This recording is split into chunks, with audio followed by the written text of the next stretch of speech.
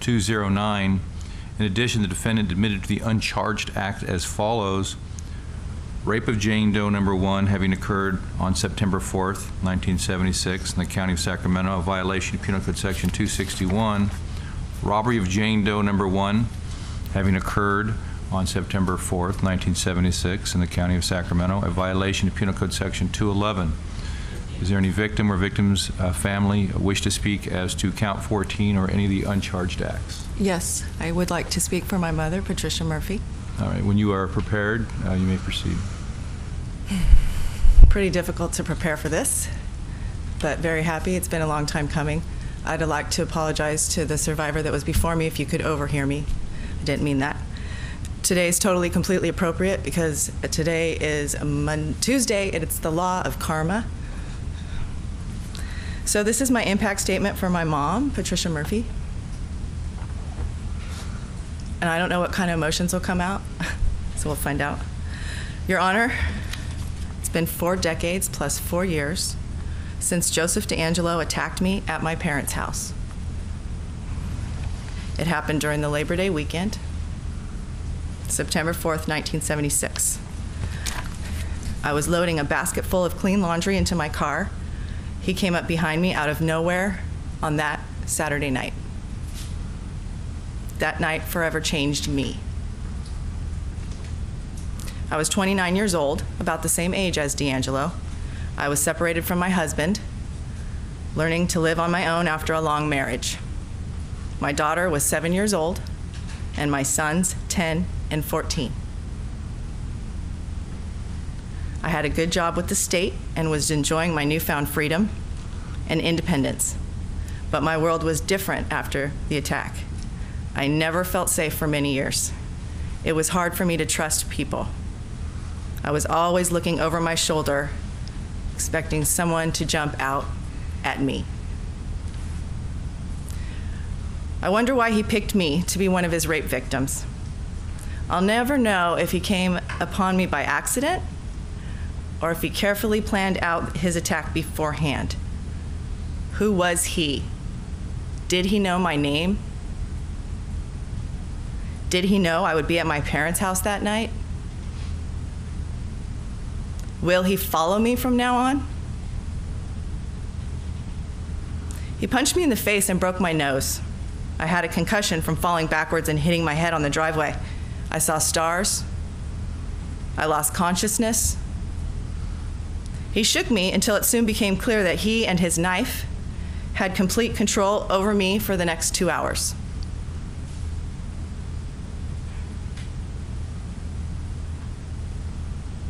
the trauma of which I am being traded for at this time. I could not escape.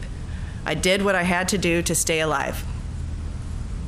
He stole my car and my purse, which meant he knew my own address on my license and registration.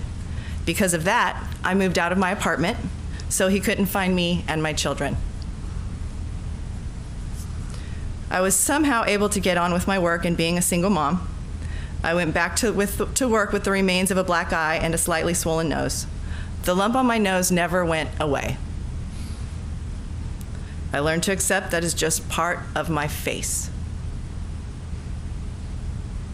My coworkers would ask me how I got the black eye, and I would just say, I was mugged. That's what we told our children, too. What really happened became a dark secret that I kept buried except for telling a few close friends. Just wasn't something I wanted to think about, much less talk about. I longed for things to go back to how they were. I pretended life was fine. But it wasn't. It was exhausting. It was hard to find joy. My mind was never at peace. I turned to alcohol and drugs to help blot it all out and numb my pain. How I felt about men changed after that night. I no longer cared if I were seen as attractive. I didn't trust anymore. I am blessed to have married my husband 32 years ago. 32 years ago. He is on my healing journey with me. So is my family, except for my parents who have since passed away. My mom didn't want to move, so I continued to visit them there I celebrated Christmas and other holidays at their house as if nothing ever happened. Sometimes there was no place to sit except on the organ bench he tied me to before he drank my dad's beer and left.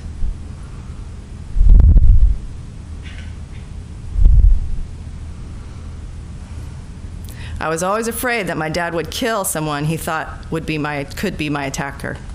He was out looking for him with other people in the east area of Sacramento.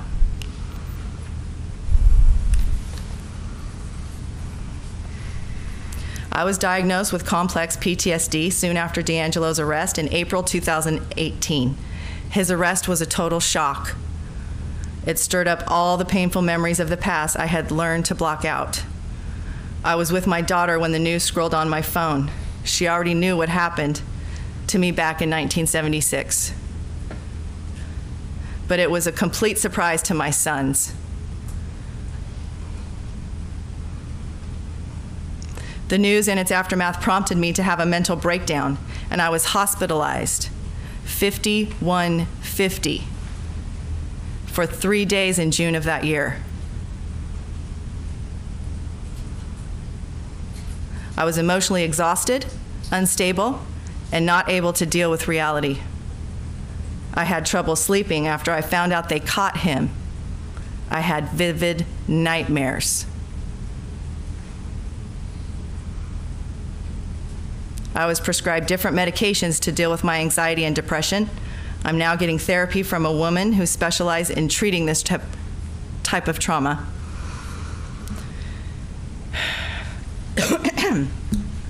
Some people are wired wrong, and DeAngelo is one of them.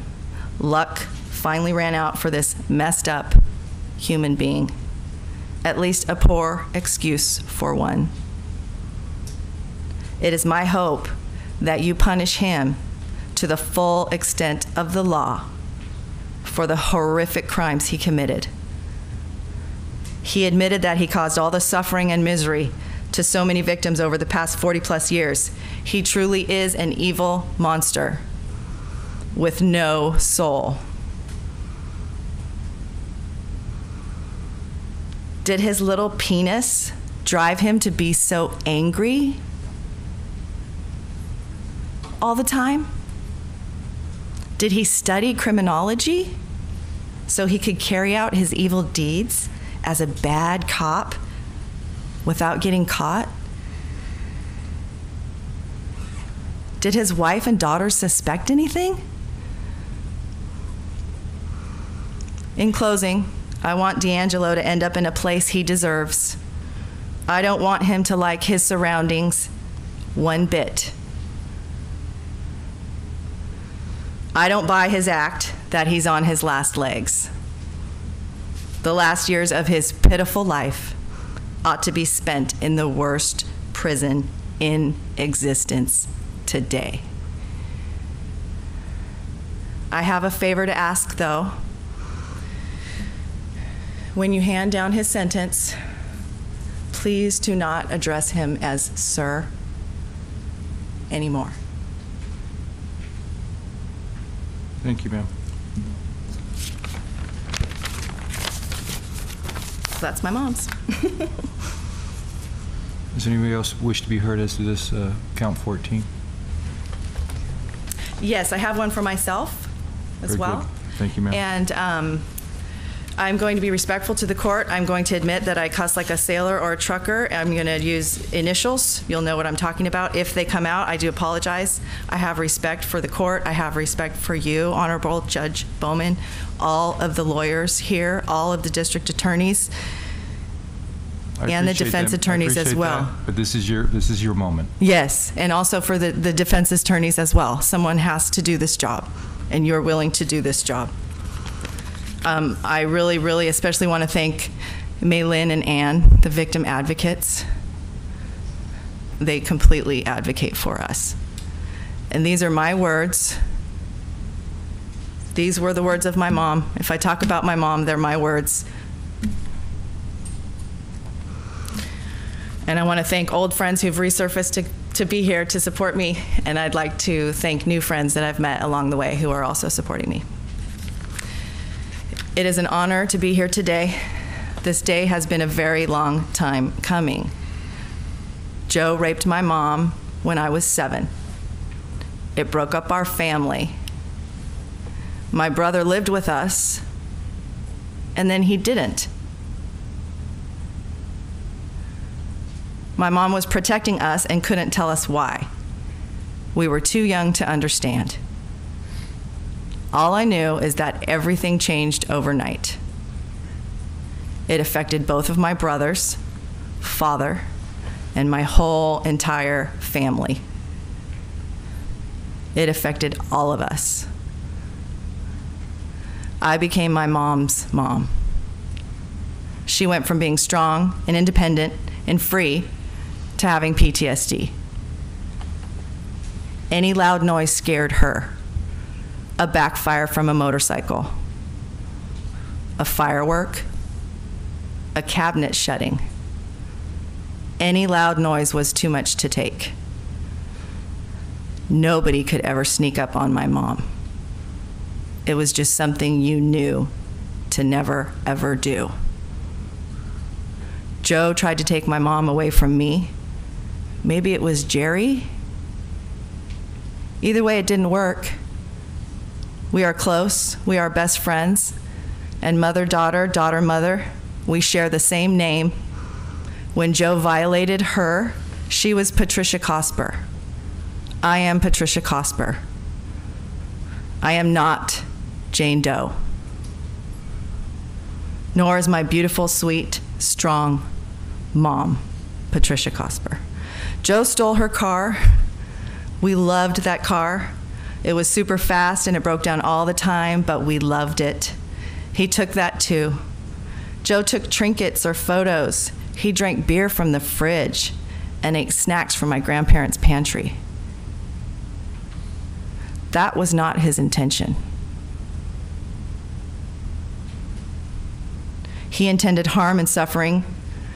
He was ruthless and cunning, and patient and powerful. And now he is just locked up. Locked up for life. I would like to read the words of Jesus through Matthew 5:21. You have heard that it was said to the people long ago, you shall not murder, and anyone who murders shall be subject to judgment. He knew better. He was treated extremely poorly as a child, abused and tormented. That is no excuse. Rot in jail, and then rot in prison. Turns out Joe, Jerry, Joe won't be gone in the dark after all. Turns out I don't have to hunt Joseph DeAngelo, Golden State Killer, East Area Rapist, Original Night Stalker, Visalia Ransacker. I don't have to hunt him down after all. Michelle McNamara did that for me.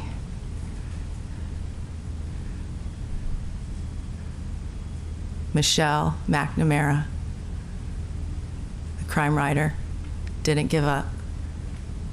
And law enforcement did not give up. She was his final victim. Sorry, I'm almost done. All right, you take your time. I see her as a survivor. Because she got him caught, her spirit survived. She got him caught, she did not give up, and now you rot. And you're not feeble. He's not feeble. And he's also a pedophile. Anybody who rapes anybody who's not of age is a pedophile and a rapist and a murderer.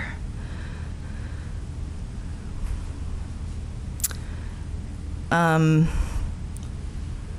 I'm only here because of the imprisonment, the false imprisonment, the rape of the rape of the statutes of limitations is over. So due to the fact that he tied up my mom and took her from room to room to room in my grandparents' home, the very first place I ever visited out of the hospital, the only place there was actually some happy memories of some happy family stuff going on.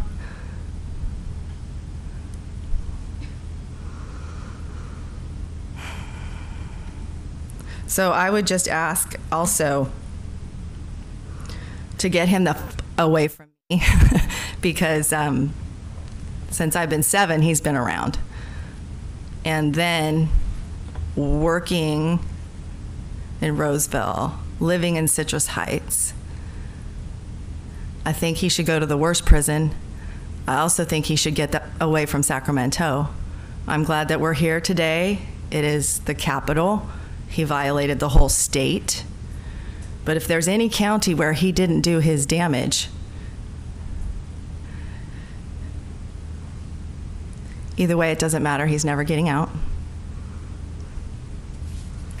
And um, this is my beautiful mom and my grandma and myself.